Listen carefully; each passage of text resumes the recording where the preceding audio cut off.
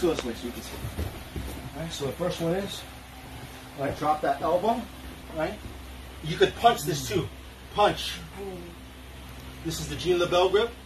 Pull it up. Bulldog choke. Okay? Or, right, you can attack his feet. You're gonna come up again and hit his groin up. Right now I'm gonna hit his thigh. Right? That's gonna expose this. Drop your knee on it. Oh, shit.